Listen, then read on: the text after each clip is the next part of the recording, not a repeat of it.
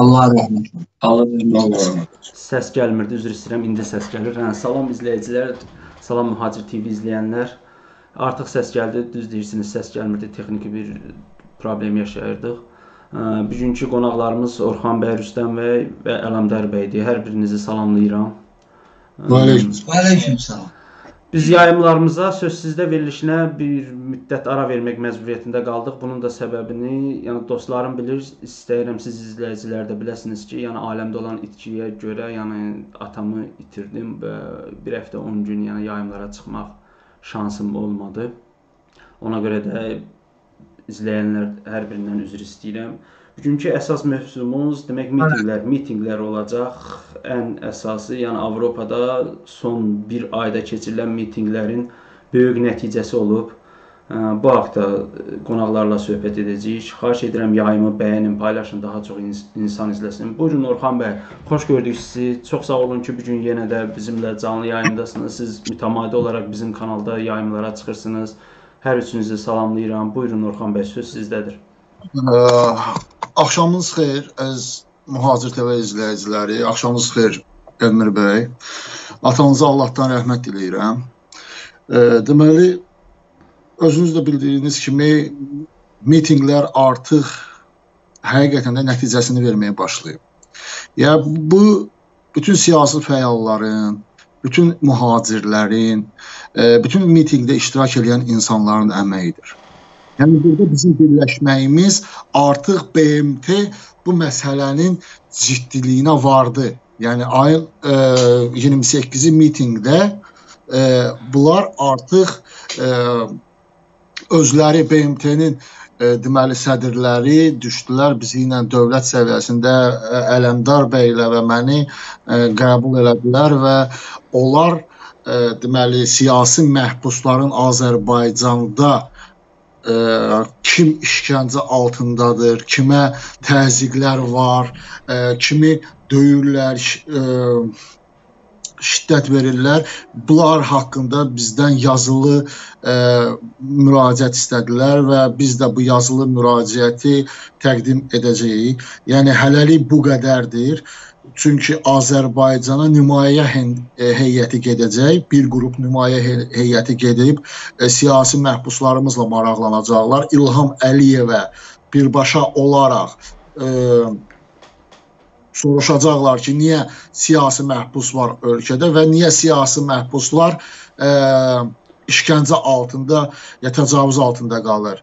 Və İlham Əliyevə həqiqətən də nətər deyim sizə, artıq yükləməyə başlayacağıq və haqqımızı biz burdan da tələb edə bilərik. İlham Əliyev bunların hər bir şeyinə görə cavab verməli olacaq və cavab da verəcək, hakimiyyəti də tərk edib gedəcək və gedəcək deyəndə ki, yəni özü də məsuliyyəti cəlb olunacaq. Hələlik bu qədər.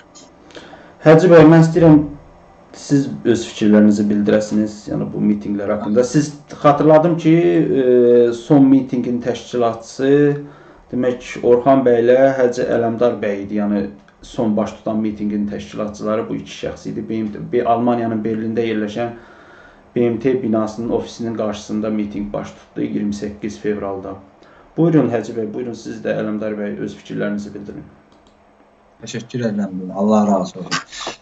Bəy biz öz öhdəmizə düşəni, yəni ki, vəzifədir bugünkü gündə bizim boynumuzda ki, bizim siyasi məhbusları, müdafiə edək, onların haqqını tələb edək. Şükür olsun Allaha ki, bizim niyyətimiz Allaha xatir idi, safdır. Gün bugünkü günündədir ki, yəni dərdimizi eşitdilər, anladılar və Orxan qardaşımız da dedi. Yəni dəvət olundu, oturdu, söhbət elədik onlarla. Onlar da bizim dərdimizi eşitdilər. Birdən inşallah bu ilə bağlı biz də əlimizdən gələnsə köməklik olunacaq. Biz də buradan özümüz nümayəndə göndəriləcək, dövlət səviyyəsində lazım olacaq. Siyasi məhbuslarla da görüş aparacaqlar. Burada həqiqi siyasi məhbuslar kimlərə əziyyətlər verilir. Məxsusən də ki, onların dillər, adlarını, familiyalarını yazın, bizdə təqdim edin. İnşallah ümidvarıq ki, Allahın köməyi ilə ki, bu işlər həllini tapır. Əgər bir günləri biz Avropada yaşayan Azərbaycanlılara mən tuturam özümüzü ki, yəni Allah açıb gizlənməyin yeri yoxdur. and olanlar ki, yoxdur, həqiqətən yoxdur. Bu günləri əgər BMT bu günləri əzir gəlirsən BMT-nin qarşısında haqqını tələb edirsənsə, o da BMT olaraq dünyayı bilirsən ki, insan hüquqlarını dünyanın hər bir yerində müdafiə ediriksə, bizim də haqqımız, hüququmuz çatır ki, BMT-nin qarşısında etiraz edib və BMT BMT nümayəndəliyindən və hüquqlarımızı tələb edir. Bizim bugünkü gündə şükürlər olsun yenə də Allaha deyirəm ki, bu günləri bizim bura gələn qardaşlarımızın səsini eşitdilər və dəvət elədilər. Dərdimizi də dedi. Şükürlər olsun ki, yəni razılaşıldı. Çox sağ olun, təşəkkür edirəm. Rüstəm bəy, buyurun siz də izləyicilərimizi salamlayıb bir kəlmə. Xahiş edirəm qısa-qısa eləyək ki, yəni çox e, izləyicilərimizi də yormayaq. Bilirəm siz də yorğunsunuz Rüstəm bəy. Çox sağ olun ki, təklifimizi qəbul etdiniz, yayıma çıxdınız. Buyurun. E, ilk öncə Allah ata atanıza rəhmət eləsin, e, Elmil bəy. Allah axır qəbul olsun. Allah e, bu hökuməti bildiyi kimi eləsin. Yəni bəlasını versin ki, e, Azərbaycan vətəndaşları e, nə zülmlər, əziyyətlər çəkirlər. E, qardaşların e, burada o BMT e, qarşısına çıxmaların mən özüm şəxsən şahidi oldum. E, inandırım ki, buradan xalqa bildirmək istəyirəm ki, həqiqətən də burada e, mübariz insanlar e, çox böyük əziyyətlər çəkir. Bunların e, o e, bəzi troll e, və ermənipərəst Azərbaycan hakimiyyəti bunlara de, e, müəyyən adlar qoyur. İnandırım ki, pulsuz, parasız, e, hansı zülmlərlə bu şey eləyir, bir Allah şahiddir, bir də mən şahidəm. Yəni öz gözlərimin onun üçün də bu e, iki gündür yuxu yatmıram, yorğun vəziyyətdə danışmaq istəmirdim. Dedim ki, yorğunam, danışa bilməyəcəm, amma yenə özümə borc bildim ki, qardaşların əziyyətin xalqa çatdırım. Əlbəttə ki, ayın e, 21-də bilirsiniz ki, e, e, Nürnbergdə e, gənə e, Azərbaycan fəallar, qardaşlar, e, Orduxan qardaşımız da orada iştirak elədi. Bir çox e, başqa fəallar da e, BMT qarşısında Azərbaycanda baş verən haqsızlıq, bu e, Azərbaycandakı e, siyasi dustaqların azad olunması, ümumən e, hakimiyyətin apardığı bu e, repressiyalara qarşı artıq e, Azərbaycan fəalları e, Avropada, dünyanın hər bir tərəfində görürsünüz ki, hərəkətə keçiblər. 28-də də həmçinin Berlində bu baş verdi. Artıq 28-də e, Berlinin e, BMT nümayəndəliyi e, e, e, nüma, e, nümayiş edən gənclərlə, e, fəallarla görüşdü, e, bir çox vədlər verdi. Bu da ondan xəbər verir ki, artıq e, BMT də görür ki, e, fəallar dayanmır, e, və e, haqlarını tələb edirlər. Azərbaycanda baş verən bu e, insanlığa e, haykırı olan, insanlığa mümkün olmayan, yəni hərəkətlərə göz yummur. Və inanıram ki, bu bir e, nəticə verəcək. İnşallah, e, inşallah. Siz trollar məsələsinə toxundunuz. Orxan bəy, bu trollar dedi, yəni deyəndə mən ilk ağlıma Ata Abdullayev gəlir. Fransada o şəkilləri yaymışdı yerə erməni bayrağı ilə falan filan. Əli Kərimliyə getdi. Mənim prezidentim əskərlikdədir, sənin oğlun nə bilim mən bu şəkilləri hardan maliyyələşir, belə-belə ilə trolluğunu elədi. Bu haqda xahiş edirəm danışın, amma ondan qabaq üzr istəyirəm. Bizim bir dostumuz, yəni bəlkə də məni nə bilim, bəlkə bir 300 dəfə zəng vurub, doğrudan onu bir yayıma qoşum, sonra bu haqda danışaq. Alo. Salam, axşamınız xeyir olsun. Ə, axşamınız xeyir. Efirdəyəm mən. Bəli, buyurun, efirdəsiz. Elmi bəy, birinci sizə baş sağlığı verirəm. Allah atanıza rəhmət eləsin, günahların bağışlasın, məkanı cənnət olsun. Allah ömür Qonaqlarınızı da salamlayıram. E, bir əvvəl istəyirdim mövzu ilə bağlı bir qısa fikir deyim. Buyurun. Sonra qonaqlarımıza sual verəcəm Buyurun. bir mövzu ilə bağlı. E, mitinqlərlə bağlı yəni hələ ki indi başdan bir dənə mitinq olub, 19 yanvar mitinqi. Hə, fakt onun nəticələri var. Yəni bu anlası deyil. Ə, amma yəni hələ ki o, o bir mitinqlərə hələ ki icazə verilməyib də. Birinci demək istəyirəm ki, bu mitinqlərin təşkilatlanmağıyla bağlı xaricdə olan aktivistlərin istəyir orada qonaqlarımız, digər hamı bir-bir adını çəkmək istəmirəm. Necə siz qarışıq rolu yəni həddindən artıq çoxdur. Yəni ürək dirək vermək, qorxu hissini sındırmaq, yəni çox şeylər var. Yəni bir dənə e, istəyirdim sual verin qonaqlarınıza, Rüstəm bəy, hə, ə, Əlimdar bəy, yəni hansına? Ə, e, istəyirdim mitinq haqqında, məsələn, mitinqlər çağırış olsun, yəni çox gözəl, yəni ə, yəni ad da deyəcəm, yəni Qurban Məmmədovdan fərqli olaraq, yəni tam əks fikirdəyik ki, yəni mitinqlər lazımdır. Amma əvvəl bu mitinqlərin necə təşkilatlanmaq lazımdır. Yəni Elmir bəy mənlə razılaşarsınız ki, mitinqə gəl deməklə, yəni heç kim yəni heç kim deməyə çox əksəriyyət yəni o riski alıb deməz də, hə mən gəlim mitinqə gedim, bu gün kalkına girim.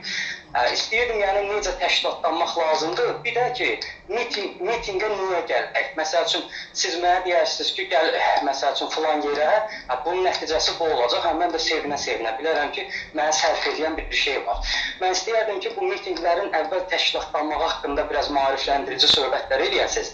Ola bilər qonaqlarınızın kimsə bir fikri var təşkilatlanmaq nə cür ola bilər? Yəni ağıl ağıldan üstün, yəni sizin ola bilər, hansısa bir təklifiniz ola bilər o təklif çox tez zamanda yayıla bilər insanlar arasında. Kiçik də olsa bir təşkilatlanma əmələ gələ bilər. Mən istəyərdim ki, o haqqda, yəni mövzunu, mövzunu, yəni həmin mövzu haqqında, amma biraz təşkilatlanma haqqında danışasınız ki, necə olsun ki, cəmaət məsələn deyəndə mitinqə gəl gəlsin və ya necə arxayın olsun ki, Əli Məmməd gedəndə inansın ki, Pir Vəli də gedəcək, Vəli də gedəcək. Yəni inansın ki, biz artıq xalq olaraq təşkilatlanmışıq. Mitinqlərə də mən gedəndə qonşum da gələcək, mən oğlumum da gələcək. Bu təşkilatlanma mən sizi mən sizi mən sizi başa düşdüm. Doğrudan yəni gözəl yəni sual verdiniz. Amma ki bir söz deyim də, yəni ki Azərbaycanda bu dəqiqə yaşayan vətəndaş, yəni çətinlik içində, kasıblıq içində yaşayan vətəndaş o təşkilatlanmaqdır, Orxanın, Elmirin, kimisə dediyini gözləməlidir. Lap biz seçkimiyə hansı bir siyasi partiya liderinin dediyini gözləməlidir. Harda bir yəni iynənin ucu qədər işıq varsa, doğrudan ora getmək lazımdır ki, bu şeydən qurtulsun. Yəni təşkilatlanmaq bunlar da vacibdir söz yəni doğru vurğulayırsınız. Amma ki, yəni ki biz bir dəqiqə o vəziyyətdəyik ki, doğrudan deyirəm, yəni kiminsə artıq bizə məsləhət verməyi, yol göstərməyi artıq bizim üçün Bilirsiniz necə? Yəni elə bir ki, əlimizdə 3 variant olub, hansısa birinci 3 yoldan birini seçirik. Amma bizim bir dənə yolumuz var, o da ki, özümüzü ya özümüzü xalq olaraq özümüzü yəni bu Əliyev rejimindən xilas etməkdir. Bilmirəm, indi mən qonaqlara da bu haqda yəni öz cavablarımı bildirəcəm. Mən öz istəyirəm Elmir bəy, bu qısa bir dənə son deyim, üzr istəyirəm, vaxtınızı çoxalmayım. Mən e, düz, yəni mən siz deyəni elə e, istəyirdim deyim. Ola bilər çatdıra bilmədim ki, e, yəni kimin sənin o e, Rüstəm bəyin həmişə məşhur sözü var ya, ağaqlı bir oğlan gözləmək yox. Elə məsələn bu xalqın içində elə təşkilatlanmağın e, nə cür məsəl üçün məsləhətmi, tövsiyəmi və yaxud ola bilər də kiminsə ağlına gəlməsin, birdən e, orada qonaqlarınızı və ya sizin ağlınıza gələn bir ideya olsun. Yəni bu mümkün olan bir şeydir. Yəni ona görə deyirəm ki, insanlar öz arasında e, artıq 15 ildə bu aclıq filan insanlar arasında var, amma görürsüz ki 15 ildir hələ ki e, hələ mələm ortaya bir böyük kütlə çıxa bilmir. Yəni bu aclıq, bu sosial problemlər indi çıxır. 10 ildə, 15 ildir bu var. Amma görürsüz bu şey e, təşkilatlanmaqdadır deməli mənim fikrimcə problem. Mən istəyərdim ki, yəni belə bir e, mövzu mövzunu yəni təşkilatlanmaq haqqında elə qoyasınız ki, artıq insanlar başa düşsün məsuliyyətini. Cəmiyyət başa düşsün ki, hə mənim fərq olaraq bir məsuliyyətim var, ictimai məsuliyyətim var. Hə, mən getməliyəm. Çox sağ olun zənginizə görə qonaqlar da öz cavablarını verəcəklər. Hə, sağ olun. Demək biz Ata Abdullayev ataq ikinci plana hələ ki buna bu izləyiciyə cavab verək. Bir də burada dostlar yazır ki 19 mart yəni mitinqindən danışın. Ondan da danışacağıq. Səbriniz olsun. Biraz yəni proqram hələ gedir. Hər şeydən danışacağıq. Buyur Orxan bəy. Bir kısa atadan danışım, sonra keçək Ata Abdullayevdən danışaq. Hə, hə, hə, buyur, buyur, əsas. Keçək sonra qardaşın sualına. Ata Abdullayev kimdir? Ata Abdullayev bilirsiniz ki, Azərbaycan xalqını əgər bir qadının ayaqlarından tutursa şərəfsizcəsinə, bu insan şərəfsizdir. Bu ləyaqətini, atasını, anasını, arvadını, uşağını İlham Əliyevə qurban verən bir insandır. Yəni ki, e, bu insan üçün fərqi yoxdur. Sabah Elmir gələcək hakimiyyətə, nə bilim başqa bir insan gələcək hakimiyyətə, onun üçün də eyni prosesdə olan bir insandır. Yəni beləliklə insanlar cəmiyyətimizdə əfsuslar olsun ki, var. Yap, yap hakimiyyətini beləliklə insanlara həmişə ehtiyacı var. Həmişə pul verib beləliklə insanları məsəl üçün çıxardır ortaya ki, hə, Əli Kərimli görürsən, sənin oğlun məsəl üçün Londonda e, diskotekada araq vurur. Mənim prezidentimin oğlu hardadır? Əskərlikdədir. Sən əskərlikdə yox. Sən deyərdin ki, mənim prezidentimin Əmi, oğlu hə, əmisinin qucağındadır, Mədətin qucağında. Hə, Mədət də onu şey, karoç məzuniyyətə göndərib Dubaya ki, get bala keyf eləyə, sənin nə əskərlik? Əskərlik sənlik deyil. Əskərliyi kişisi, kişiliyi ləyaqəti olan, olan oğlanlar eləyir. Onu da öncə bizim kasıb balıqlarımız eləyir. Yəni hər bir şəhid verən kasıb ailəsidir. Bir müvarlı oğlanı, deputatın ya nə bilim hansısa nazirin balası şəhid olubmu indiyənin kimi? Xeyr. Niyə görə? Çünki onların şərəfi, qeyrəti yoxdur. Gələk ikinci söhbətə. Qardaşın deməli qardaşın ə, sözünə gəlir, təşkilatlanma. Təşkilatlanma ə, pis deyil. Yəni Azərbaycanda, Azərbaycan xalqı üçün təşkilatlanma pis deyil, amma baxır hansı təşkilatlanma. Əgər o təşkilatlanma bir ssenari üzündə gedəcəksə, yəni ki, təşkilatlanma, maariflənmə, hər şey bunun içindədir. Yəni ki, insanlara düzgün çatdırılma. Sizə azadlıq nəyə görə lazımdır? Siz nəyə görə bu diktatora qarşı çıxmalısınız?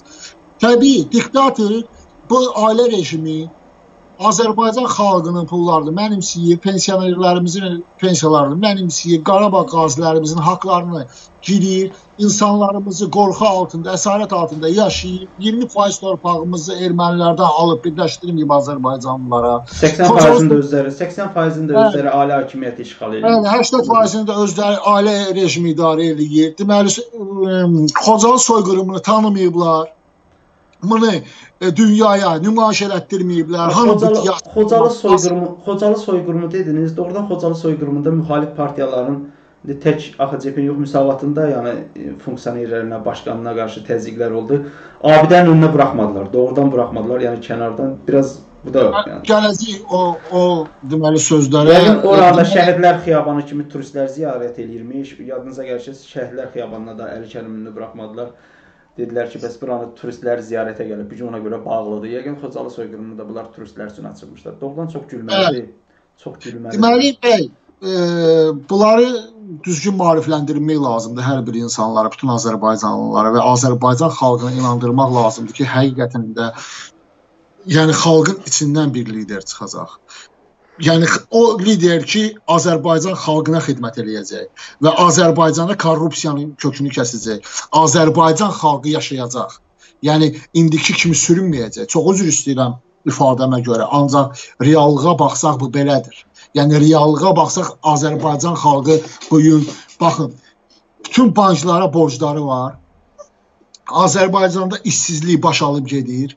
Yəni əgər bir insanın savadı yoxdursa, yəni savadı ali məktəbə e, qabil olmayıbsa, bu insan fəhlədən başqa heç bir şey əlindən gəlmir və bu fəhlə də nə qədər bu insan işləsin və onun təhlükəsizliyi, sığortası yoxdur bu insanın, yəni sığorta şirkəti buna nətər deyim, təminat qoymalıdır. Yəni bunu sığorta eləməlidir. Əgər bu insanın Allah göstərməsin işlədiyi yerdə başına nəsə gələrsə, onun qoyduğu ailə başsız qalmasın. Yəni dövlət ona bir mənada zəmanət verməlidir ki, mən, sənin ərin başına nə gələrsə mən, mən onu təmin edərəm. Mən üzr istəyirəm, bu mövzuya aid bir dənə doğrudan yəni olmuş bir hadisəni danışım bu mövzuya aid. Demək, Azərqaz İstehsalat Birliyində yəni işləyirdim mən. Yəni orada bir fəhlə bu qaynaq aparatının, yəni 4 çarxlı qaynaq aparatının üstündən yıxıldı yerə, doğrudan yıxıldı, komada qaldı. 6 ay komada qaldı.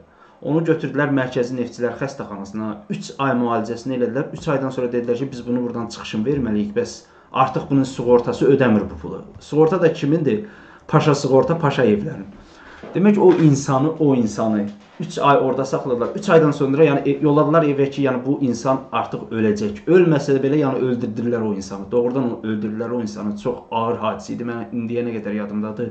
Yəni Paşa sığorta hansı ki hər bir Azər qazda çalışan hər bir fəhləni 52 min manatlıq sığorta eləmişdi elə o vaxtı. Yəni mən danışıram 2009-2010-cu ildə. Sığorta eləmişdi. O yəni başına bədbəxt hadisə gələn işçinin cəmi 3 ay müalicəsinin pulunu ödəyəcək. Özü harda, yəni Mərkəzi Neftçilər Xəstəxanasında. Mərkəzi Neftçilər Xəstəxanası da bilirsiniz, rüşvətin bir dəqiqə tuğyan elədiyi xəstəxanadadır. Bütün işçilər neft neft şirkətinin nəzdində olan Azəriqaz, Sokar, bütün işçilər 6 aydan bir orada e, tibbi yoxlanışdan keçirlər. Hər birinin də məzənnəsi 10 manat idi o vaxt. İndi 25-30 manat olub. Yəni verirsən heç bir şeyə, yəni yoxlamırlar. Nə həkimlər əziyyət çəkir, nə əziyyət, sən əziyyət çəkirsən 25 manatını verirsən, sənin kağızı verirlər əlinə, arayış aparıb verirsən ə, işlədiyin şirkətə, firmaya verirsən. Bununla da sən yəni ə, tibbi baxışdan keçirsən, yəni tibbi necə deyim, nəzarətdən keçmiş olursan. Buyurun Orxan bəy, mən üzr istəyirəm, böldüm, ola bilsin yəni. Yəni faktları deyirsiniz, yəni reallığı danışırsınız. Yəni razıyam sizinlə. Azərbaycanda doğum evindən bir də ölüm evinə kimi rüşvətdir. Gərək 19 mitinqinə hansı ki e, belə deyək, e, 19 mitinq e, insanları icazəsiz aksiyaya çağırırlar və icazəsiz mitinqə çağırırlar. Mən bu mitinqin şəxsən əleyhinəyəm. Yəni mən mənə mən bu mitinqi Məhəmməd Mirzəli mənə göndərdi, mən paylaşdım Facebookda, dərhal da onu sildim. Mən öyrənəndən sonra ki, bu mitinq icazəsizdir. E, mənə belə bir suallar, yəni büyünün özündə də ki, niyə yəni razı deyilsən? Bunun çox bir qısa bir e, yəni cavabı var. Mən özüm Avropadayam. Mən özüm Avropada yaşaya-yaşaya, mən necə Azərbaycan xalqından müraciət edeyim deyim ki, ey xalq, ey cəmaət, çıxın icazəsiz mitinqə. Bəs adama deyə deməzlər ki, özün getmisən Avropadasan, ancaq cəmaəti Dubinka Yox, mən, mən Orada bilirsiniz ki, Dubinka da olacaq, tutulmalar da olacaq. Bəs bunların cavabını kim verəcək? Elmir bəy. Mən bildim, mən sizi başa düşürəm. Mən özümdə çağırmıram heç kimi, yəni. Amma ki, Bəlkə elə xalq bunu özü istəyir. Yəni bəlkə bunu kimsə istəmir. Xalq özü istəyir, yəni icazəsiz mitinq istəyir. Yəni məncə bunu xalq istəyirsə bunu ictimailəşdirmək, yəni e, xalqı necə deyim, o meydana çağırmaq deyil. E, yəni tam tərsinə xalqı necə deyim, bu yolu göstərmək. Yəni siz icazəsiz mitinq istəyirsiniz, alın bu da sizə icazəsiz mitinq. Bax bilirəm, yəni hardasa sizinlə razı, amma fəsad var Elmir bəy. Burada bir e, bilirsinizmi? İlham Əliyev rejimi qəsdən 3 dənə mitinqə icazə verməyib, qəsdən. Çünki ona lazımdır icazəsiz mitinq və icazəsiz mitinqi bu insanlar ki təşkil eləyir və çıxacaqlar, orada dubinkalar, döyülmələr olacaq, insanlar tutulacaq və yenə də millətin gözünü qorxuzacaq İlham Əliyev. Ondan sonra icazəli aksiya, mitinq təşkil eləyəcək və o mitinqə kütləvi insan gəlməyəcək. Yəni bu bir politikadır. Bu bir onların yürütdüyü siyasətdir və bu siyasəti də oxumaq elə də çətin deyil. Məndən bu qədər. Ola bilər, yəni mən sizin fikriniz. Buyurun, buyurun, buyurun, buyurun Rüstəm bəy. İcazə versəydiniz, e, e, Orxan bəyin sözünə qüvvət olaraq mən də bir kəlmə deyərdim. E, əlbəttə ki, bu icazəsiz mitinq e, o vaxtı baş verə bilər ki, e, düzdür, e, xalq cana doyub. Bu bir həqiqətdir. Bu danılmaz həqiqətdir. Yəni e, xalqın içindən kimi soruşsa, kimi dindirsən, hə, e, doğrudan da e, beziblər. Amma e, bunun da özünün bir vaxtı var. Bugünkü gündə e, mən Orxan bəyə e, dəstək oluram o, o mənada ki, e, ən gözəl variantı icazəli mitinqin e, dabivats eləmək də, yəni e, e, əldə eləmək. E, e, bunu deməli 1 2 3 5 dəfə müraciət olunur, verilmirsə, Avropa məhkəməsinə şikayət verilsin, Birləşmiş Millətlər Təşkilatına şikayətlər verilsin. Bununla əlaqədar Avropadakı e, aktivistlər, e, e, mübariz insanlar e, Birləşmiş Millətlərdən e, tələb etsin ki, Azərbaycanda hətta e, qoy onu da elə söz gəlmişkən deyim, Facebookda like qoymağa belənçiyinə insanları incidirlər. Bu birbaşa bir e, taktikadır insanları qorxutmağa. E, əlbəttə ki, e, hər an icazəsiz bir miting ola bilər. Bu danılmaz bir faktdır. Hər an ola bilər. Bir e, hər hansısa bir hadisədən e, insanlar kütləvi axa bilər çölə. Amma O hadisə misal olaraq deyirəm e, Mehman Hüseynov məsələsi daha. O hələ bir e, e, fəlakət bir hadisə deyil idi. Əslində yəni e, mənəviyyat bir fəlakəti var idi, amma e, görürsünüz ki e, bir ölkədə bir anın içində bir iskra verir. O da nə ilə? E, elə bir haqsızlıq. Amma Azərbaycanda o qədər haqsızlıqlar olub ki, bir dənə realitet, real bir məsələ var da. Məsəl üçün hansısa prezidentin hansı ölkədə e, milyardlıq villa aldığın eşidən xalq birbaşa icazəsiz axşır küçələrə tələb edir. Görürsünüz ki, Azərbaycan xalqı susur. E, və yaxud hansısa bir e, dövlətdə e, pe, e, yaşayış səviyyəsi e, bazar iqtisadiyyatı ilə eyni e, necə deyim, hətta e, ona çatmaq deyil də yüzdə bir hissəsidir. Yəni yüzdə 50 yox ha, yüzdə bir hissəsi.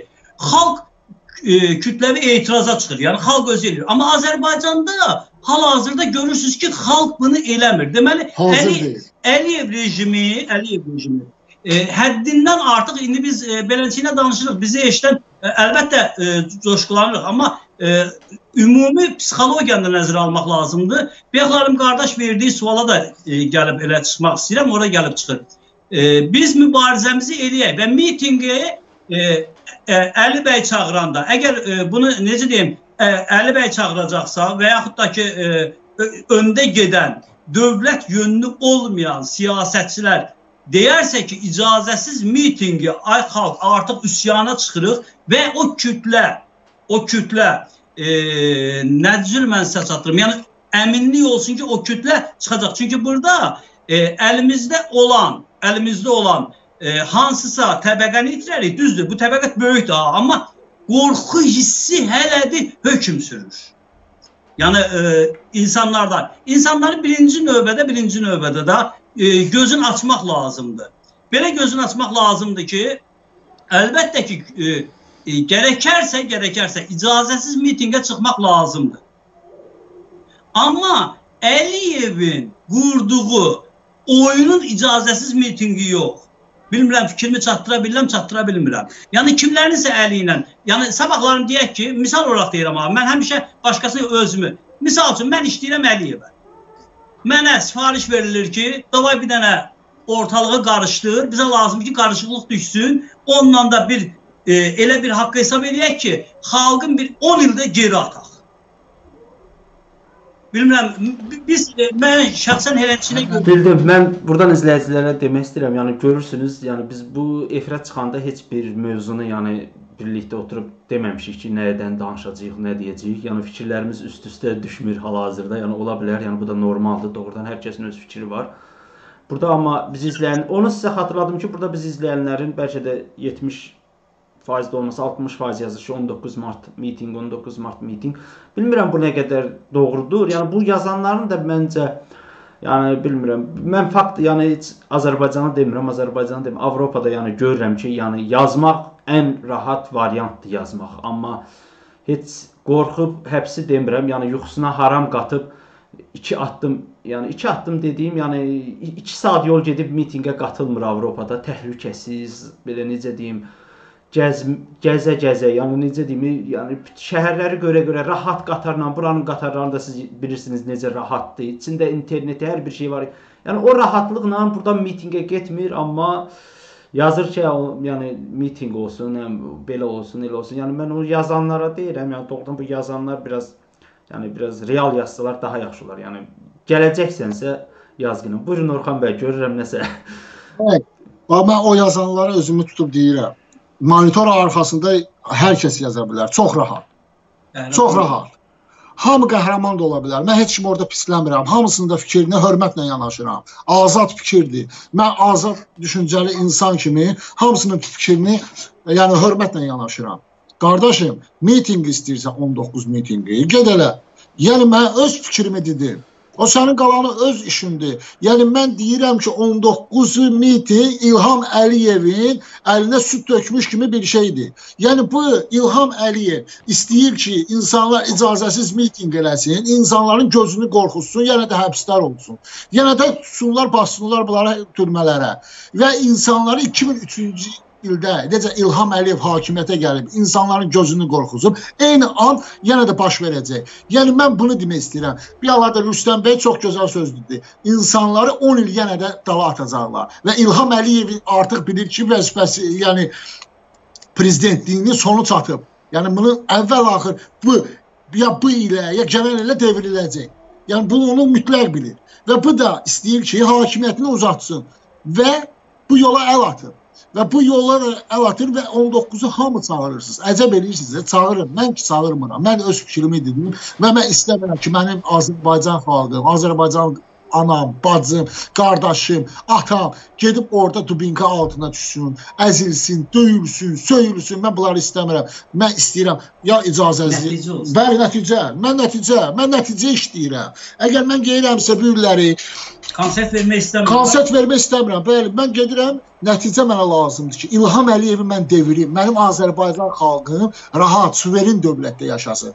Azərbaycanda haqlı insanlar bərqərar olunsun. Yaltı, yalta olmasın insanlar. İnsanlar həm gözəl yaşayışı olsun. İlham, mən bunu istəyirəm. Nəticəni İlham Əliyevi icazəli mitinqlərlə devirmək mümkün olacaq? Yəni siz fikirləşirsiniz? E, bir, bir dənə icazə ver. Buyurun. E, bax mən e, şəxsən müxalifətə məsləhət görərdim ki, bu qısa müddətli yox, bir 2 ay sonraya, misal olaraq deyirəm ha, 1 ay sonraya, 2 ay sonraya indidən müraciət eləsinlər və e, ən qısa vaxtda cavab verilməsin ki, orada geniş yazıb, yəni qanun maddələrində orada savadlı insanlar oturub da, yəni bilirlər nə var, nə yox, hazırlıq görülməlidir, konstitusiyalara dayanaraq ki, bu vaxta qədər bizə cavab verin. Verməsiniz bizim hüquqi məhkəməyə vermə, çünki vaxt verəndə mən bunu dəqiq bilirəm. Əgər sən müraciət edirsən, müraciət edirsən, orada məsələn deyirsən ki, bir aydan sonra mən mitinq edəcəm.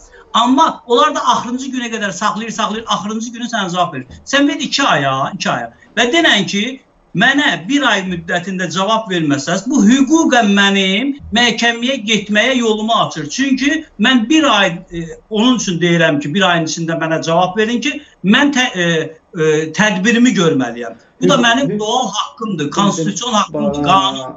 Başa başa düşdüm. Qanun qanunla Bilirsiniz nə ediblər? Bilirsiniz orada yaşayanların imzalarını saxta yolla imza atıblar. 200 nəfər deyil, bilmirəm, mən elə eşitdim ki, yəni 200-ə qədər şikayət olunub ki, həm orada kommersiya işçilərlə, mağazaları olanlar şikayət edib. Heç birinin yəni danışırdı ki, xəbərim yoxdur. Başa düşürənlər odur, hadır şey, yolları bağlayırlar e, e, xalqın da milyardlarla pulunu yeyirlər. Heç İlham Əliyev, İlham Əliyev rayona gedəndə, rayonlara səfər eləyəndə tamamilə doğrudur. Sonra diskoteka, həcə demiş ki, səhərdən axşama qədər diskotekada dağıdırlar, tökürlər.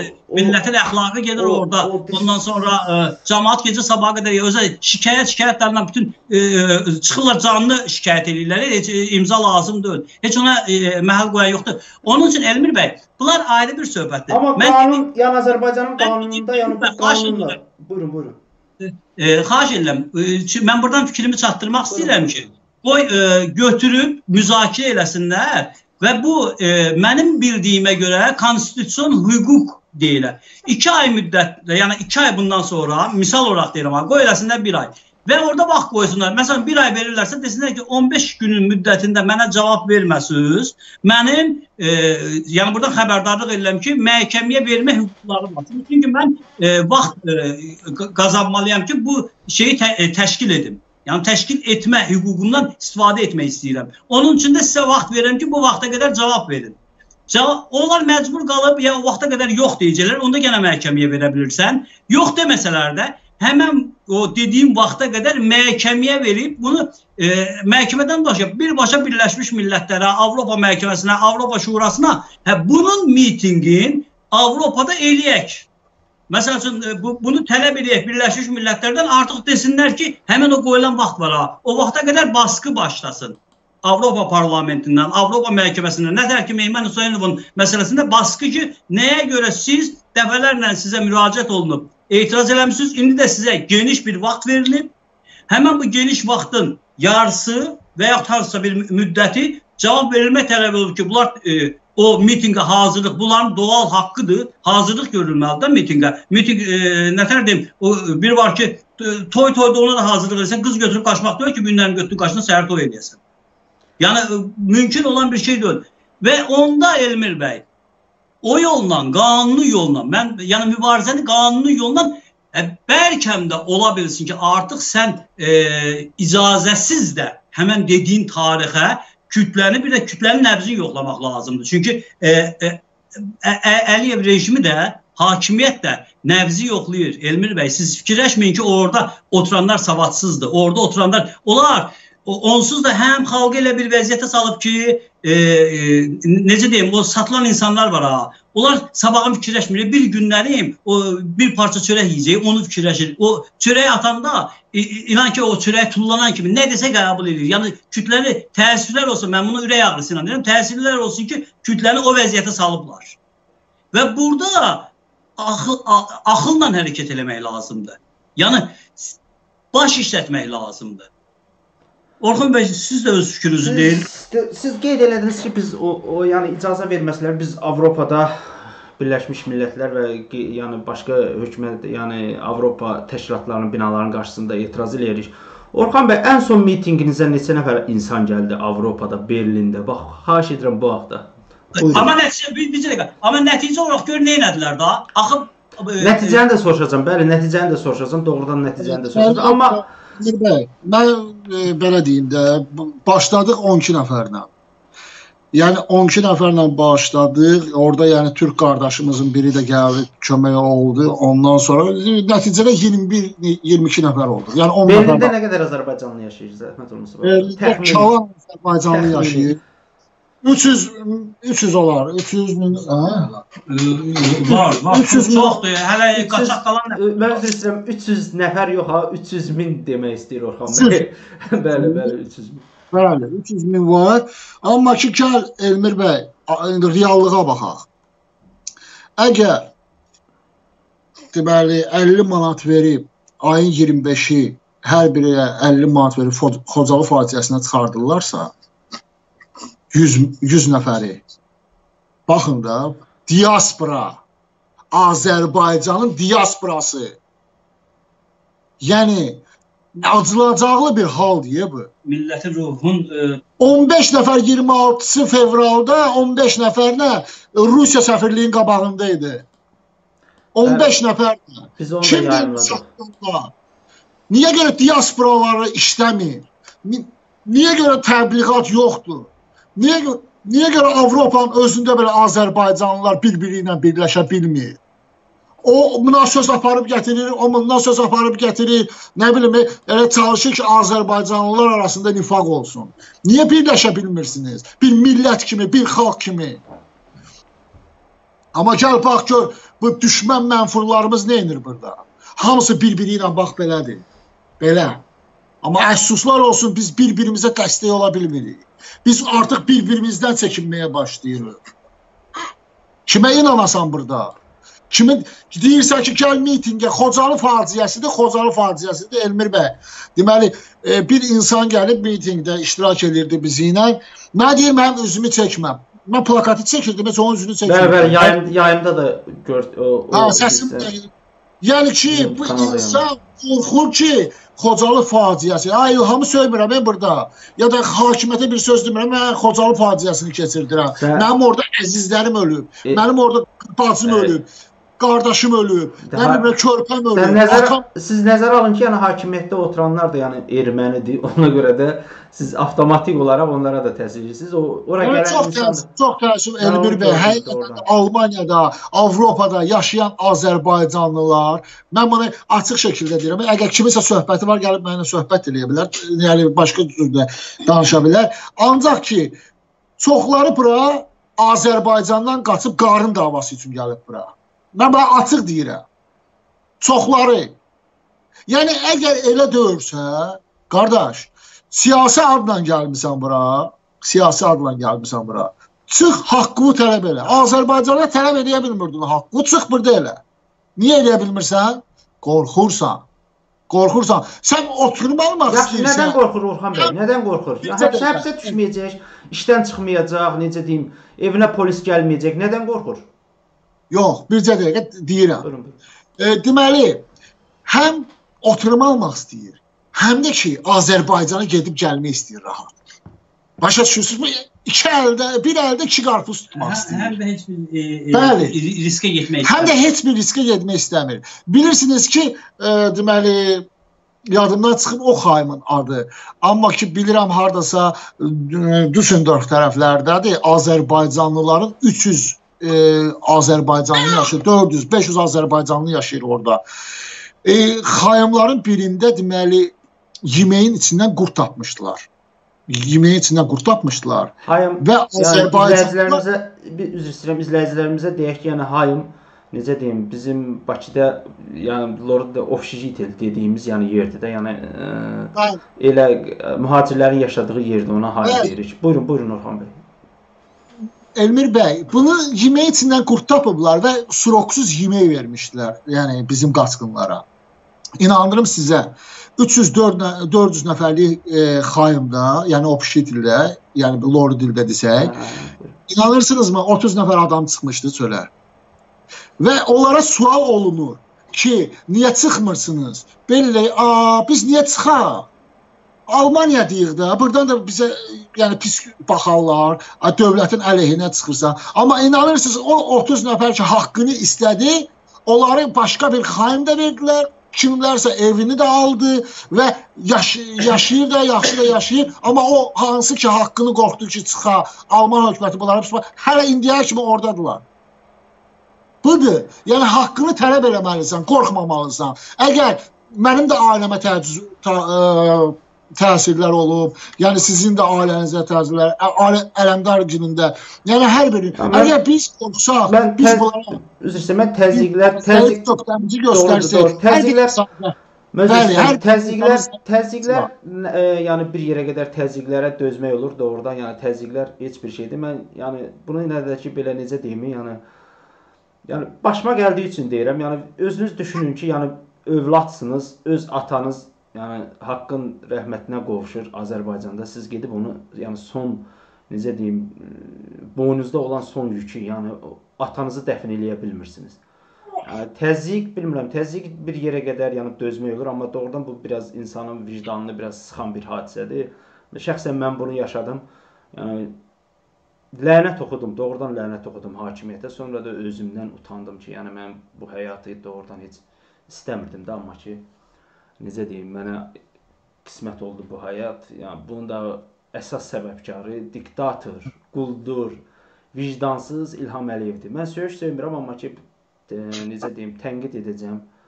Ya ömrümün sonuna qədər edəcəm, stil. Yəni nəfəsim nə qədər varsa o qədər tənqid edəcəm. Buyurun Orxan bəy, buyurun söz sizdədir. Mən s- sənin kimi oğulların qabağında, Orduxan kimi oğulların qabağında, hansı ki ekrana çıxmırlar, amma Azərbaycan hökumətinə güclü darlar vururlar, yəni siyasi liderlər onların qabağında, yəni baş əyirəm. Çünki həqiqətən də kim mitinqlərə gəlir, onların qarşısında baş əyirəm. Kim haqqını istəyir, onların qarşısında baş əyirəm ki, həqiqətən də siz haqqınızı istəyirsiniz və bu mübariz e, mübariz apar xeyr. Mübarizə aparırsınız və hər kəsin qabağına baş əyirəm. Haqqımızı biz İlham Əliyevdən sökə-sökə alacağıq. İlham Əliyevi yeri gəlsə o bir dənə söz var. Paza mindirəcəyik paz avtobusuna ki, haqqımızı ver. Sən Azərbaycan vətəndaşlarının haqqını verməlisən. Buna borclusan. İndi islahatlar aparırsan 19 mitinqindən sonra. Ki 19 mitinqdən sonra sən sənin prosta yanındakı ətrafın dedim ki, xalq qalxır. Yəni sən islahatlara getməlisən. Məcbursan. E, Kefindən eləmədi onu. Sən ömür boyu Azərbaycan xalqına nə bilim nətər demək, 1 manat da pulsuz verməzsən. Amma sən öz kreslondan qorxursan ki, sən onu itirəcəksən yaxın zamanlarda. Bir dənə də söz icazə versin. buyurun, bir buyurun. dənə axırıncı, axırıncı kəlməmi deyim. e, Mənim qardaşım istər deyər. E, deməli ata Abdullayevdən danışayım. O hansı bir ala yarımçı qalmışdı o barədə sözüm. Gəlir Əli Kəbrimliyin yanına ki, sənin oğlun Avropada keyf edir, prezidentin oğlu əskərdir. Əskərdir. Və e, bəli. İndi hər kəs bilir ki, Avropada yaşayan, Avropada təhsil alan insanlar, yəni burada 6 bazar, yəni 5-ci gündən artıq sərbəstlər də, yəni axşamdan diskotekaya gedirlər. Onun hamısını, yəni dövlət ödəyir. Dövlət. Yəni hamıya çatdırım ki, yəni Əli Kərimlinin oğlu heç nədən, yəni maliyyələşmir. Yəni Avropaya gələn insan, təhsil alan insan, yəni dövlət onu ödəyir. Elə deyilmi Elmir bəy? Yəni burada da belədir. Bildim, başa düşdüm. Belə lap belə ən pis tərəfini götür, maliyyələşir. Yəni bu sən hansı ki dayanıb deyirsən ki, mənim prezidentimin oğlu əskərlikdədir. Sən prezidentinin oğlu əskərlikdə deyir, bu bir. Bu bir. Sən prezidentinin oğlu hardadır? Sən özün də bilmirsən. Yalandan ora götürmüsən, şəkli qoymusan, cibə gətirmisən ki, bəs belə-belə mənim prezidentimin oğlu əskərlikdədir, sən belə elə. Bu tə, bu mən o insan doğrudan o insan mənə də çox yəni mesajlar atıb doğrudan deyirəm. Bir mesaj da oxutduracağam. Yəni onun mesajı deyir. Yəni mənə də təhdid eləmişdi o insan. Mən ona cavab vermirəm. Doğrudan heç dəymez ona. Yəni, ha, təhdid onun başı üçündür. Hə, bilirəm. Təhdid onun başı üçündür, də o kimlərin başı üçündür. Elmir bəy, o günləri mitinqdə xəbəriniz oldu da gəldi ə, Duding bizi qıraqdan çəkirdi şəklimizi. Firidun Duding. Hə, bildim, bildim. Yanıb deməli mitinq gedir, mitinq gedir. Qıraqdan dialog bizi çək. Sənin məqsədin nədir sən bizi çəkirsən? Ya bu olsa Facebookda da var, YouTube'da da var. Biz heç kimdən qorxmuruq. E. Sən İlham Əliyevin bütün ordusu gəlsin mənim üstümə. E. Mən qorxan deyirəm. Məndə zadni yoxdur. Mən kəfə, kəfənimi geyinib çıxmışam. Ya mən bu İlham Əliyevi aşırdacağam, ya da mən bu yolda öləcəm.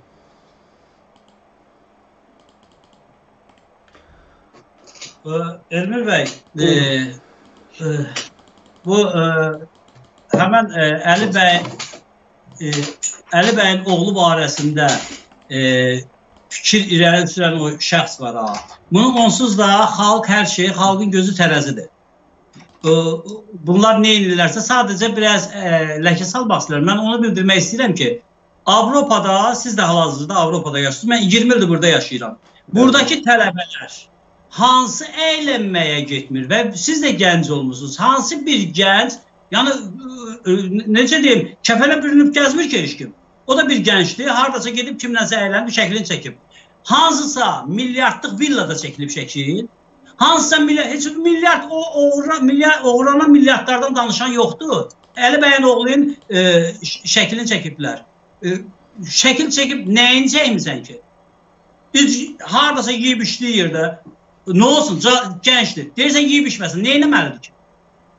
Deməli, bu adam ayda bir dəfə bir gənc kimi, bir tələbə kimi bunun hüququ yoxdur. Yoxsa başqa tələbələr getmir ki. Bu nəyə görə qəbahət olmalıdır ki? Əli bəyə nəyə görə bu pretenziya olaraq şey eləmədi? Sadəcə xalq özü də bilir ha bunu. Yəni e, Əli bəyin oğlu ilə e, İlham Əliyevin oğlu müqayisə eləmək mümkün deyil.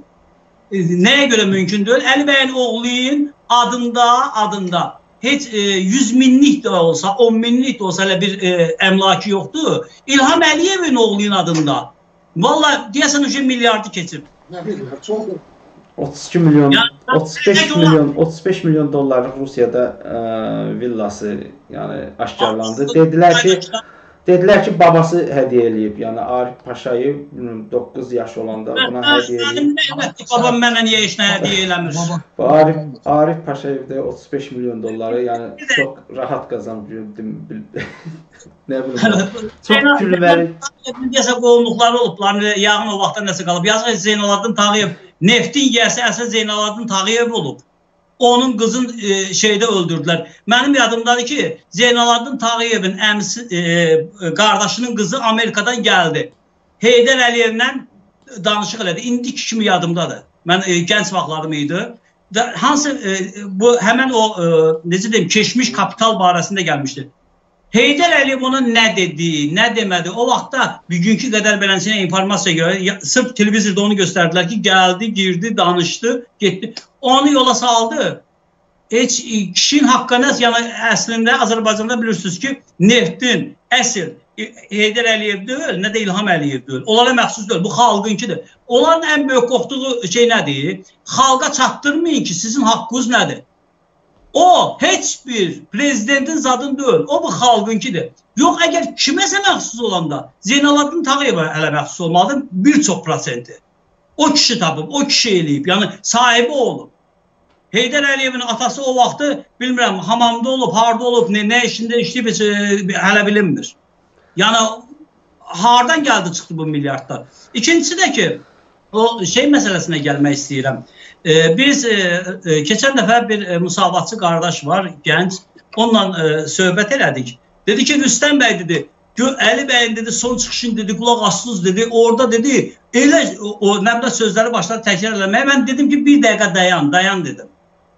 Dedim Əli bəyin mən çıxışlarına qulaq asıram. Doğrudan da Əli bəyin çıxışlarına qulaq asanda, Cəmil Həsənlinin çıxışlarına qulaq, qulaq asanda, ondan sonra Qənimət Zahidin çıxışlarına qulaq asanda, e, həqiqətən də o qədər faktlar açıb qoyurlar ki, insan coşa gəlir. Dedim, qardaş, mən dedim Əli bəyin çıxışı belə o e, necə deyim, e, superdən də super olduğuna heç şübhəm yoxdur. Dedim neçə nəfər qulaq asdı? Neçə, neçə nəfər baxıb? Dedi ki, diyan bir dəqiqə baxım. Dedim təxminən məndir. Dedi diyan baxım, baxdı dedi 30 min. Dedim ki, bax, Azərbaycanda nə qədər əhali var? 10 milyon. 10 milyondan dedim 30 min nə qədərdir? Birinci növdə Əli bəyin çıxışın bu 10 milyona çatdırmaq lazımdır. Yəni o 30 min 10 milyondan 0,10 nolda nə bilim neçə birdir. Və 10 milyon hamısı da internet istifadəçisidir. Uşaqlar var, yaşlılar var, heç internetə baxmayanlar var. Doğrudur, amma çox adama doğrudur. Çox nə qədər çox yəni paylaşılsa, yəni nə qədər çox insana çatdırılsa, o qədər. Demək istədiyim, təbliğat, təbliğat birinci növbədə Əli bəy kimi, Əli bəy kimi e, Cəmil Həsənli kimi, ondan sonra e, Qənimət Zahid kimi, yəni e, Orduxan e, bəy kimi, yəni bir çox bu e, necə deyim, e, bu xalqın azadlığı üçün mübarizə aparan insanların birinci təbliğat bu olmalıdır ki, Əli bəyin danışdığı, orada da adam belə qulaq asanda özü özündə əsəbləşir ki, necə yəni mənim haqqımı nətər ala bilərlər? Nətər e, e, məni beləncə bu günə qoya bilərlər? Bu qədər milyardların, milyardlıq bir ölkədə yaşayım mən dilənçi günündə əl açım. O e, küçələrdə qoca-qoca arvadlar adamın vallah billah, yəni vicdanı olan hər bir şəxs Vallahi adam rüya beyli bükülüb, zibil qabından gedib şey axtarırlar, yeyirlər, nə bilim, iynə ta pulu tapırlar, dərman pulu tapırlar, insanların mənəviyyəti sınıb. Yəni hansı birini sayım? Hansı birini sayım? Ona görə də o fikirləri, yəni təbliğatı birinci növbədə, birinci növbədə nə cür elənirsə elənsin, hansı yolla elənirsə elənsin. Əliyevin də apardığı mübarizə nəyə görə layık eləyənə tutturur Əliyevi atdırır içəri? Bax, adi bir layıka, qorxu, birinci bununla mübarizə aparmaq lazımdır və çox qısa bir zamanda, bizim vaxtımız yoxdur. Çox qısa bir e, zamanda, bir ay içində, iki ay içində, yarım ay içində fərq eləməz. Yəni, e, xalqı xalqı doğrudan da xalqa çatdırmaq lazımdır ki, bu sənə verilən e, şirin quşlara anlanma. Sənin haqqın o şirin quş deyil. Sənin haqqın ne, necə deyim, normal bir insan kimi yaşamaqdır. Kiməsə bir dənə sənə konfet uzadanda iki qat əyilib 10 kələm bir şey deyirsən. Hansı ki bir oturub normalda fikirləşən adam, "A qardaş, mən Azərbaycanlıyam, doğulmuşam o torpaqda. O mən Azərbaycan vətəndaşıyam da. Nəyə görə Azərbaycan milyardlar gəlir gətirən bir ölkəmdə, bir ölkəmdə mən dilənçi kimi yaşamalıyam? Nəyə görə mən e, verilən o 100 manat, 200 manat puldan ötəri 5 kərəm boy nəyib, hələ bir başıma da lağlağı ilə qapaz vurub belənçiyinə, onun da udqunu ki, e, tərsləyərəm ondan da olaram. O vəziyyətə düşməliyəm. Düşməli deyiləm, xeyr. Azərbaycanlıya minnətlə verilməli deyil. İkincisi də ki, deyirlər ki, İlham Əliyevin Allah canını sağ eləsin, e, nə bilim, xalq üçün e, bir tam onda neçə prosent pensiyasını qaldırdı, alqışlayın. Nə İlham Əliyevin canını sağ eləsin, orada nə bir hamam tikdirdi, alqışlayın. İlham Əliyevin canını sağ eləsin, orada bir körpü atdı, alqışlayın. Ay qardaş, mənim başım çıxmır. Falan şey qərar verdi, bəhman şey qərar. Adama sual verirlər ki, bu parlamentdə oturanlar nəyə oturub? Onda İlham Əliyev də xahiş edirəm ki, parlament, o çünki hər şey budur qərar verən. Onda onlar heç bir şey qərar vermir. Onlar Onlar nəyə oturub boş-boşuna orada pul alır? Çünki mən ancaq eşitdiyim məlumatlar odur ki, İlham Əliyev elədi, İlham Əliyev elədi, İlham Əliyev elədi. Parlament qərar çıxartdı yoxdur. Cənab prezidentimizin fərmanı ilə plan şey oldu. Cənab prezidentimiz fərmanı ilə plan şey. Ancaq cənab prezident parlament bu, bu bir sənətəri insanlara bu şeyləri çatdırmaq lazımdır. Və bunlar kukla teatrına çeviriblər ya Azərbaycanı. Yəni qoyun olan nəsli də qoyun. Amma milləti qoyun kimi otla, otladırlar. Qoyun yerinə qoyublar milləti. Necə yəni sən o parlamentdə oturmusan, sən parlamentdə oturub nəyi müzakirə edirsən? Nəyə görə prezidentə parlamentdən deməli qanun çıxmalıdır xalqın xeyrinə və prezident baxmalıdır, onu təsdiqləməlidir. Mənim başım çıxmır. Almaniyada Almaniyada olan insanlara yaradılan şərait tikilən elə mən bax evimin böyründə heç bir il deyil. neçə mərtəbə binanı söhdülər də, tikdilər də, remont, uje şey, yığışma işi gedir. Heç kim nə prezidentə can sağlığı oxuyur, heç kim nə bilim nə nazirə can sağlığı, heç kim heç bir can sağlığı can sağlığı oxuyur. Bu yaltaq e, e, şeyi strukturu Azərbaycanın elə bil ki, içinə otuzdurublar. Bax, bunun təbliğatını aparmaq lazımdır. Əliyevin şey, e, Əli bəyin çıxışın xalqa çatdırmaq lazımdır. Xalq kütləsinin, yəni tam hazırlamaq lazımdır. Ondan sonra amin. Yəni e, icazəsiz bilirsən ki, bir çalışa əgər doğrudan da 1 milyon, 1 milyon yox 100 min 100 min adam bir şeyə çalışa çıxacaqsa, əlbəttə ki, orada o şey e, heç bir hakimiyyət yana hakimiyyət işləyir axı, imkan verməyəcək. Əldə olan hardasa necə deyim, bax 30 min əgər Əli bəyin çıxışına baxıbsa, içi mən qarışıq, doğrudan da düz deyir. Və bizi qulaq asan, hamısı bizim fikirlə razıdır ki, bəli, bu hökumət getməlidir, xalq azad olmalıdır. Amma neçə neçə nəfər baxır bizə? Düzdür, mən ə, ələm Əsas 10 milyonu qazanmalıyıq. İnşallah. Ondan sonra kütlüyük. Başa düşdüm, sonra fikriniz fikriniz çatdı. Mən istəyirəm. Yox, yox, yox, heç bir şey olmaz. Mən Əlamdar bəydən üzr istəyirəm ki, ona söz vermədik. İndi ona söz verəcəyik. Amma ki, məndə burada proqramda biraz problem yaranıb. Ona görə siz kameraya doğru keçərsiniz. Bu mən bir şeyə toxunmaq istəyirəm. Deməli, ə, bizim telefon nömrəmiz var burada. Yəni zəng vurub fikirlərini bildirmək istəyənlər buyura zəng vura bilərlər. Bir də ki, bizim yəni bu ekranda görünən nömrəmizə şikayətlərinizi çəkib yollaya bilərsiniz. Bəzi şikayətçilər bizə video çəkib yollayırlar, doğrudan yollayırlar. Amma müəyyən bir müddətdən sonra, 10 gün sonra, 15 gün sonra bir də zəng vururlar ki, o videonu silin, o videonu silin, bizim problemimizi həll eləməyə söz veriblər. Heç eləməyiblər, ha, bunlara söz veriblər. Xahiş edirəm belə hərəkətlər eləməyin. Kimin problemi həll olunandan sonra ki, yəni o çıxışını, nəm, çıxır Ə, çıxır düzün danışır. Yəni prezident, qanunsuzluqları, məmurların özbaşınalıqlarını bunları danışır. Amma bunun problemi bitəndən sonra bu hər şey düzəldi də. Deyir ki, mənim çıxışımı silin və yaxud da ki, mənim çıxışımı verməyin o kanalda. Mən istəmirəm. Amma ona qədər yəni zəng vurub 10 dəfə deyir ki, üzr üzr istəyirəm. Hətta belə yəni necə deyim, yalvarır hətta ki, biz mənim çıxışımı verin, mənim problemimə baxan olsun, baxan olsun. Sonra da zəng vurur ki, mənim çıxışımı silin. Belə şeylər olmasın, çox-çox xahiş edirəm. Yəni Əgər deyirsinizsə axıra qədər sözünüzün düzünü deyin, sonra geri çəkilməyin. Buyurun Hacı bəy. Elmin bəy, mən istəyirəm bir iki dənə mövzuya toxunum. Buyur, buyur, toxun. Demək olar biz siz bilirsiniz, Mübariz İbrahimov bizim fəxrimizdir, milli qəhrəmanımızdır bəli. Qəhrəmanımızdır. Mübariz Mübariz İbrahimov haqqın haqqında çox bir iki dənə şey danışmaq istəyirəm. Siz bilirsiniz ki, Mübariz İbrahimovu Azərbaycan hakimiyyəti, Azərbaycan hakimiyyəti vətən xaini adlandırırdı. Bu bir faktdır. Yəni bu məsələni Mübariz İbrahimovun atasının dilindən çıxıb bu söz. Yəni özü söyləyib bu sözü. Mübariz İbrahimov atası və nəyi? Yadınıza gəlir Abgül Süleymanov Allah qapısını açsın 11 il işçilərinə. Abgül Süleymanov, Taley Bağırzadə, Zülfüqar Mikayılzadə Seyid Elma. Demək olar Mübariz İbrahimovun vəfatından 3 gündür keçmişdi.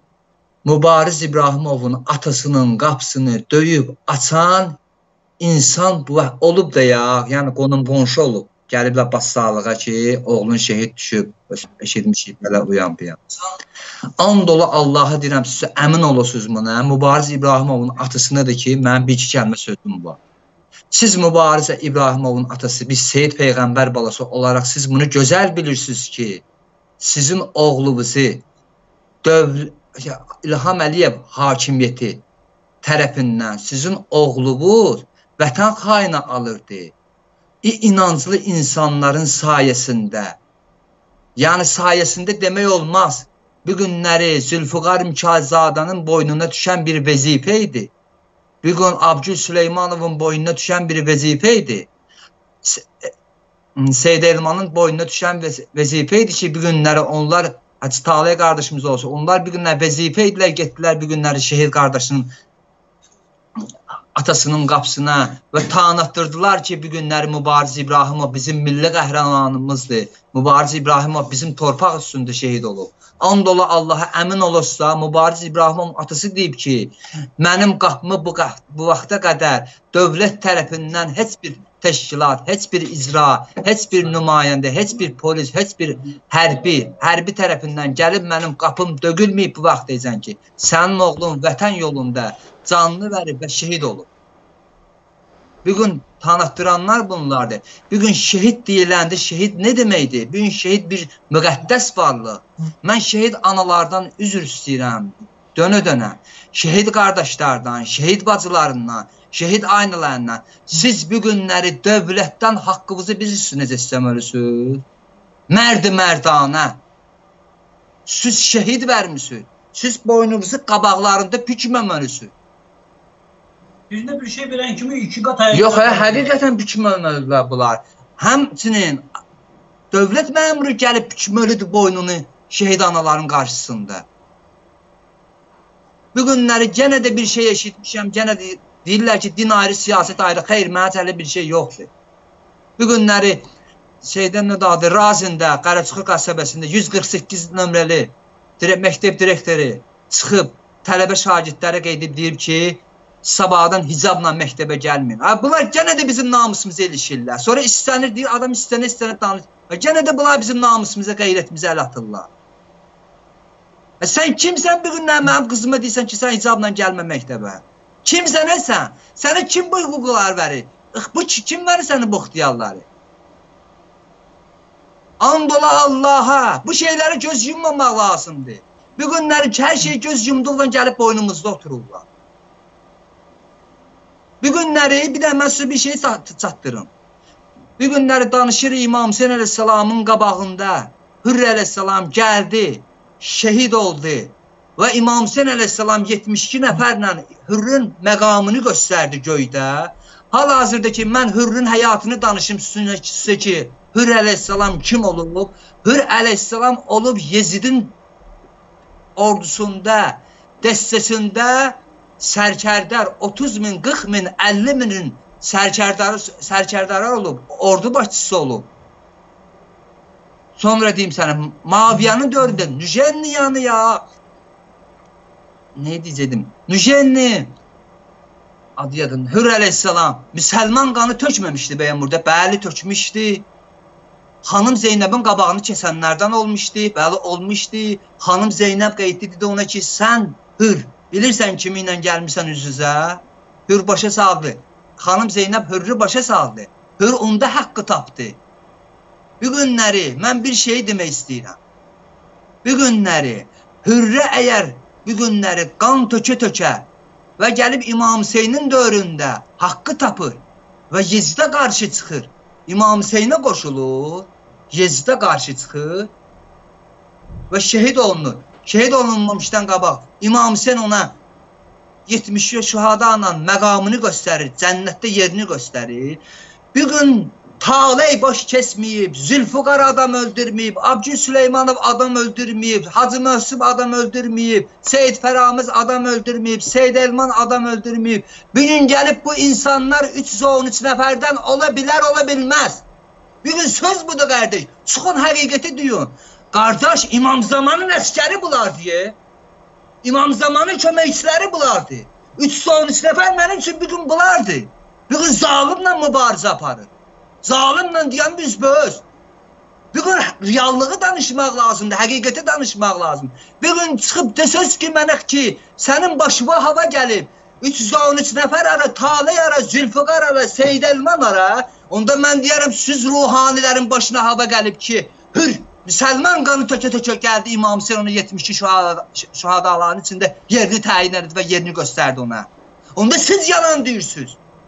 Əgər bir gün hür xanım Zeynəbin qabağını kesibsə, gəlib sen Kərbəlada İmam Hüseyn ona məqamını göstərirsə, bir gün qardaş onlar İmam Hüseyni peyğəmbəri görə-görə iman getiriblərsə, Biz görməyə görməyə iman getirmişik və haqqın yanında olub, haqqa dəstək olur isə, zalimə qabağına çıxır isə, sözümüzü deyir isə, canımızı qoyur isə, bu günləri qardaş, vallahi 313 nəfər bulardı. Bizim gözümüz kör olub, görmürük. Bugün hesab məsələsi çıxıb ortaya. Bugün mən sələfi qardaşlar, sələfi qardaş demirəm ona. Bugünləri bilirsiniz də müəllim bəy. Hökumət uşa təzə bir taktikaya keçib. Sələfilərin əli ilə mintiqə mintiqə çıxan qardaşları zalim adlandırırlar. Hə, onu mən də izlədim. Bəli, bəli, izlədim. Mən buradan qardaşlarıma səslənirəm. İstər əhli sünnə olsun, istər əhli şiə. Bu günləri İbrahim peyğəmbərdən tut, Musadan tut, gəl Məhəmmədə qədər, Məhəmməd peyğəmbər sallavatullaha qədər Allah onlardan mübarizə istəyib. Peyğəmbər uşaqkən mübarizə apardı. Qardaş, Quran bizə mübarizə yolu göstərir. Quran demir get başımı qoy rahat öyündə yat ginə. Quran bizi gəlin açır da Quranı. Musa'ya Allah dedi get Fəronun üstünə. Fəron Musa dedi gedə bilmərəm. Musa'nın heç nəyi yox idi. Dedi yığ əhl əyalı bu ordu qonum qonşu bir dəstəvi get Fəronun üstünə. Mən sənə kömək edəcəm. Biz deyə bilmərik bəli Musa'yı biz. Ancaq ki bu günləri Musa'dan bu günləri bizim alimlərimiz, ruhanilərimiz start getirirsə, peyğəmbərin həyatından start getirirlərsə, bu gün onların borcu, borcu da bu günləri mömin qardaşlarımıza, bu gün 22 gündür, 23 gündür Talih qardaşımız bilmirik ölüb qalıb. Nə gündədir? Bu nə deməkdir? Belə din ola. Valla bu din mən bunu istəmirəm. İstəmirəm də bu dinəyə namaz qılmaqdırsa, üzr istəyirəm, əyilib durmaqdırsa, bundan başqa yemək razı şey, kar, kar, kar gəlmirəmsə mənə lazım deyil bu. Bir gün mənim boynum burada isə Avropada olma, mən ölənəcə Allah haqqını müdafiə edəcəm. Bu nədir? Bir gün sələfi çıxır qeydir orada deyir ki, zalimdir. Ay zalim sənsən. Sən bu günləri görə-görə görürsən ki, haqq. Bu günləri Quran ayəsinə ilişirlər. Sən bu günləri keçi boyda saqqal saxlamısan. Haqqı görüb haqqı müdafiə edə bilmirsənsə, sən get adını dindar qoyma ginən mənim üçün. Əgər mən bu günləri əhl-i sünnə qardaşlarıma tuturam ismi. Əgər bu günləri o dediyin əhl-i sünnə qardaş düzdürsə, gəlin gətirək özümüzə Ərdoğana. Onda Ərdoğan zalimdir. Bu günlər xalqı toplayır, xalqı söz deyir, xalqı mintiqə çağırır. Onda Ərdoğan zalimdir ki, mən əhl-i sünnə qardaşlarımı özüm tuturam. Əhli sünnə adı ilə çıxıb əhli sünniyə ləkə vurmuyor. Və şiyələri təhqir eləmiyor. Və müsəlman xalqını təhqir eləmiyor. Sizə bu heç kimi hüququ veri bilmir ki, mintiqə çıxanları mintiqə gedə bir insan haqqını istəyirsə, haqqını tələb eləyirsə, sizin ixtiyarınız yoxdur ki, ona zalim deyəsiniz. Zalim o kəsdir ki, bu günləri xalqın malının namusunu göz tikib. Zalim odur. Zalim deyil İlham Əliyev. Gəl ay bedba. Kül sənin boş ver. Gəl mən səni göstərim. Külü qoyum sənin təpəvə. Bunlar bilinlər özlərini müstəqil dindar bilirlər. Gedələ Allah səni o dinimi bəyənmir. O İslamı bəyənmir. Allahda Quran ayəsində ayə bir var. Ayə var. Deyir o meçid. Görün. Allaha xidmət edirsə işimiz olmasın. Bu meçid Allahındır. Yox gördünüz ki o meçid camiyə Allaha xidmət eləmir, zalimə xidmət eləyir. Zalimin həyatı keçir. Zalimin istədikləri keçirsə orada o camiyəni sökün qoyun yerinə ki Allah o evi istəmir. Qardaş biz nədən danışırıq? Biz valla başa düşmürəm ki bunlar nə etmək istəyirlər bunlar?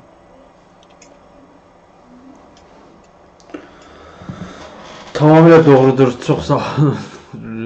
Ələmdar bəy. Ondalı Allaha həll edir. Qurana and olsun həll edir. Valla adam danışır. Bax bu günləri Almaniyaya getirir. Bir gün 19 nəfər, 20 nəfərlə dünəndən çıxmışım. Düzdür? Şükür Allaha ki Allah bərəkət ver. O bu günləri Allah deyir harda olursan ol, haqqını istə. Və peyğəmbərdən bir hədis. Deyir şərqin bu başında da olsun, qərbin o başında da olsun. Müsəlman qardaş və zülm edərsə bir zalim nə olsun? Yezid də gəlmişdi, Maviyə də. Bunlar hamısı Quran oxuyandır. Namaz qılandır, gecə namazı qılan idi. Gəldilər peyğəmbərin balasının qanını tökdülər. Qardaş, din o ilə ölçülmür. Bu günləri Allah istədiyi dini yaşadın insanlara. Əgər həqiqi İmam Hüseyndən gedirsə söhbət, həqiqi İmam Hüseyni insanlara çatdırın. Bu günləri İmam Həsən yaranmayıb ki, bir gün ölüb dirildək, öldürək dirildək, öldürək dirildək. İmam Həsən əleyhissalam üçün bunun üçün dünyaya gəlmədi ki, biz ağlayaq, gözümüzün yaşını tökək. Bəli, bizə göz yaşı lazımdır. Ancaq qəlbdən gələn göz yaşı. Kimsə ağlayır, mən gözümün yaşını töküm, yox. Ya Kərbalaya gedirlər, kimisə həvəsdə mən durum buradan Kərbalaya gedim ziyarətə. O yox. Bu gün Kərbalaya gedəndə İmam Hüseynə nə deyəcəksən? Deyəcəksən ki, mənim mömin qardaşım qalıb türmədə, gəlmişəm sənə ziyarətə. Haqqını haqqına gedəydim, düzünü danışaydı. Tamamilə doğru. Bugün Allah səndən nə istəyir? Mübarizə. Haqqını alırlarsa əlindən, dirən haqqını al istə.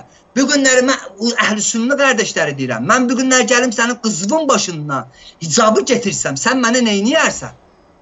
100% məni nəsə ölcə öldürəcəksən, ya da nəsə eləyəcəksən mənə. Hə bəs bu günlər sənin hakimiyyətin bu gün hicaba əl atır. Əgər sən bu günləri zalim demədin, bir hakimiyyət bu günlər sənin hicaba əl atır. Quran ayəsinə ilişir. Bir gün peyğəmbər ki deyir, Allah buyur peyğəmbərə buyurur ki, peyğəmbər zövcələrini deyinən ki, görünən yerlərini örtsünlər. Görünən yerlər o demək deyil ki, bir ayaqdır, bir başdır. Görünən yer hər sifətdən başqa hər yer. Bir Allah Quranda peyğəmbərə buyurur bunu. Vacib eləyir bunu. Bu günləri o hökumət tərəfindən hökumət mollaları, mən sizə tuturam bizi.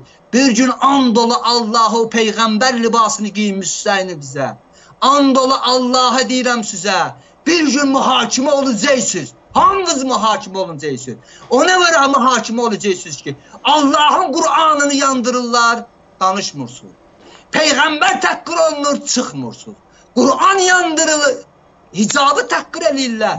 Bu gün namusumuza ilişirlər, danışmırsınız. Allah sizi müminə bir imtihan eləyəcək. Onsuz da imtihan olunursunuz. Çorsuz, görmürsünüz, allanmısınız dünya malına. Bu günləri mənə üçün dindən danışmayın. Gözəl bilirəm dini. Dini mənə üçün lazımdır. Bu günləri vacibatdan danışqınən sən. Bu gün vacibatı qoyun mənə üçün müstəhəbbatdan danışır. Hə, bu gün ki zalimdan danış mənə. Bu gün zalim neyniyir? Ay İlham Əliyə, sən kimsən ki bu gün nə hesab əl uzatırsan? Kimsən sən? Sən bu gün nə əhli əyalımı atmısan küçələrə? Namuslu atmısan bayra. Sənin xalqın namusunda, qeyrətində nə işin var? Bu günləri sənin təhsil ocaqların bunu eləyirsə, İlham Əliyev mən sənə deyirəm, mən sənə sözümü deyirəm.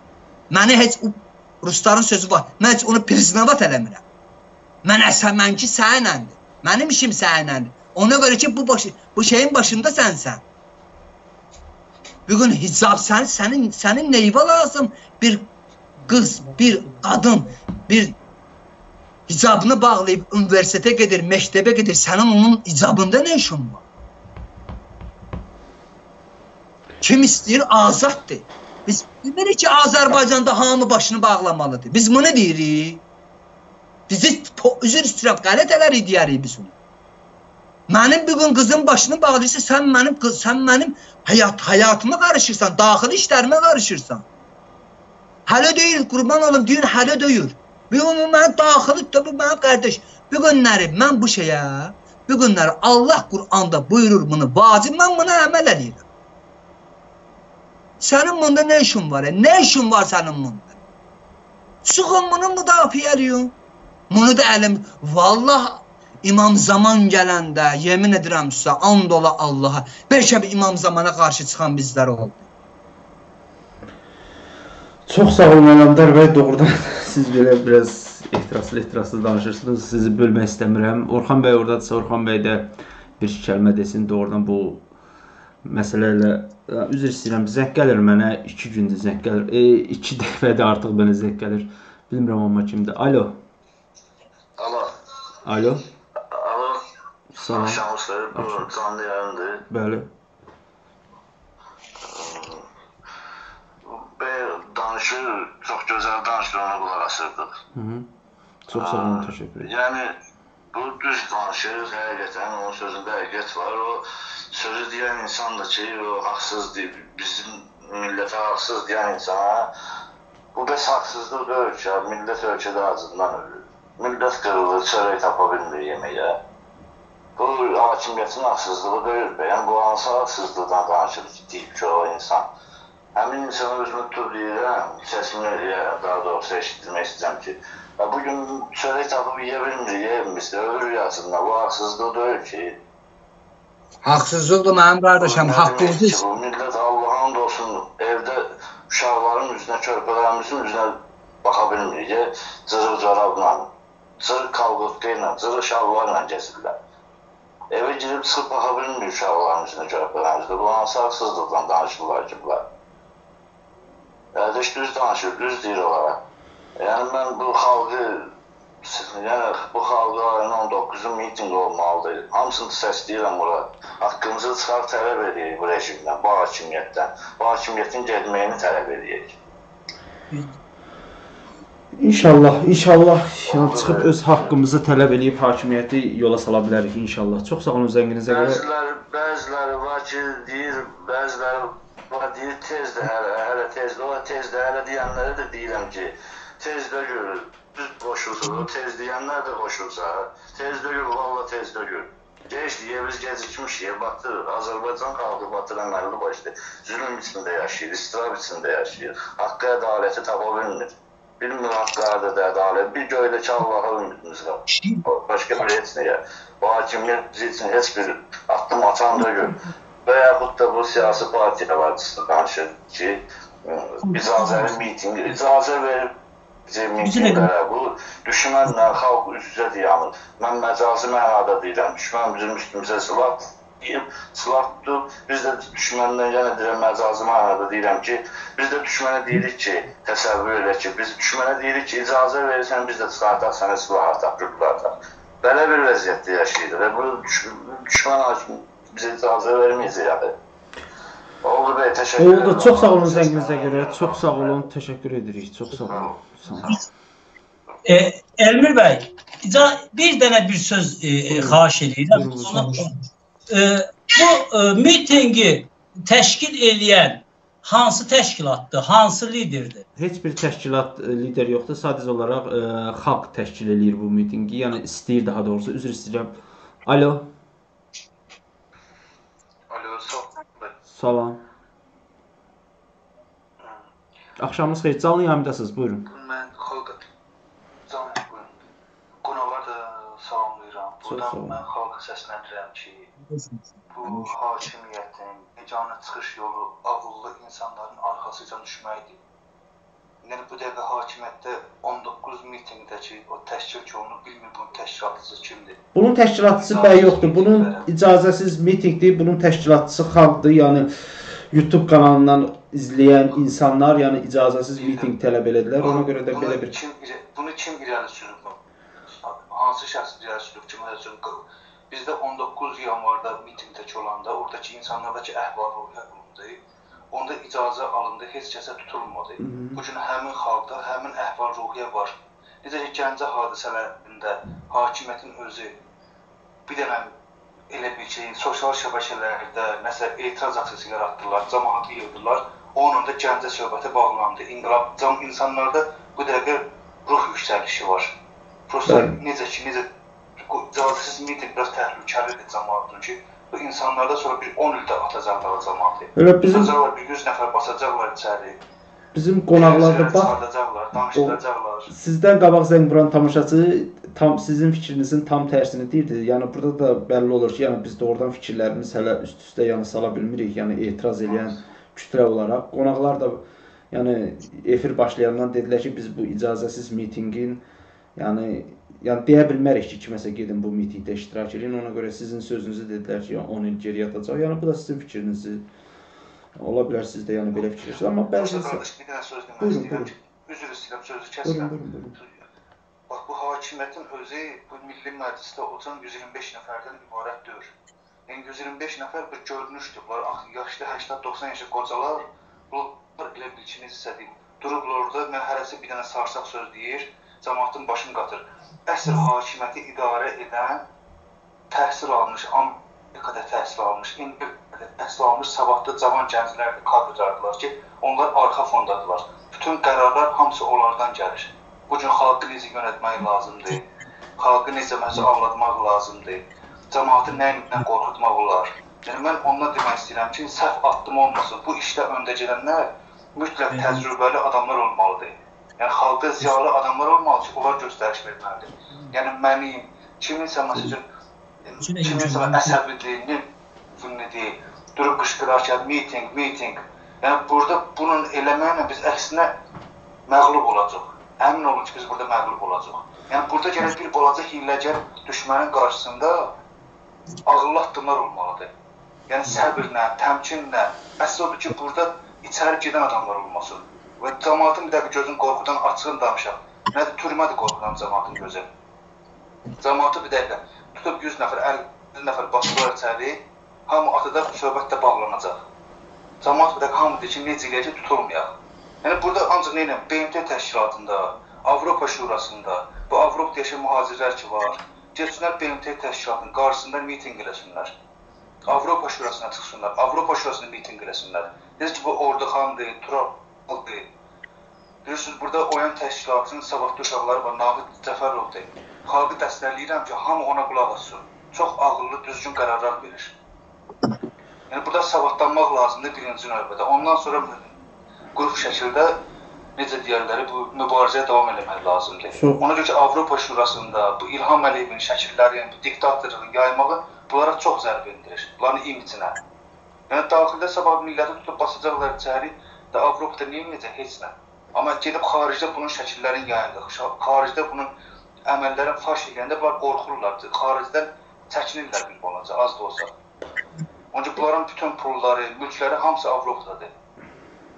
Doğrudur bəy. Çox sağ olun zənginizə görə təşəkkür edirəm. İzlədiyiniz üçün də təşəkkür edirəm. Buyurun, Elmir bəy, icazə verin bir kəlmə söz deyim. buyurun, buyurun Rüstəm bəy. Elmir bəy, sizə tarixi bir dənə faktı söyləyəcəm. Bir dəqiqə başlamayın, bir dəqiqə üzr istəyirəm. Alo, Alo. alo. Alo. Bəli, buyurun. Axşamınız xeyir. Olsun. Can Bəli, bəli, bəli, canlı yayındasınız.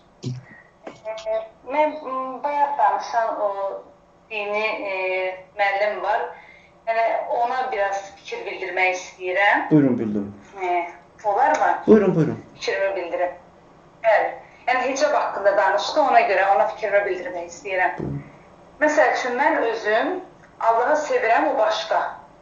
Amma hicab örtünməyin, yəni belə deyim də, yəni tərəfdarı deyiləm. Hı -hı. Mən əvvəl Talih Bağırzadə haqqında qulaq asanda, hamı Instagramda nə bilim hicab, hicabı gətirmək istəyir, hicabı təbliğ eləyir, hicabı belə eləyir. Mən oturdum onun videolarına baxdım. Hı -hı. Mən də onu əvvəl pis tanıdım. Dedim, ha, doğrudan da hicabı təbliğ eləyir, məcburiyyət eləyir, dini ölkə yaratmaq istəyir. O din heç. Allahı çox sevirəm öz yerində. Amma Allahı sevmək o demək deyil ki, nəyəsə məcburiyyət hicab bağlamaqsan. Belə bir qanun ola bilməz yəni ki, bura İran deyil. Hı -hı. Ya. Sonra e, mən e, Talib Azadənin videolarına baxdım. Bir bir dinlədim, bir görüm bu insan nə deyir, nədir bunun məqsədi, nə, necə bir insandır. Yəni mən yaxşı tanımırdım bunu. Mən sonra onun qulağısını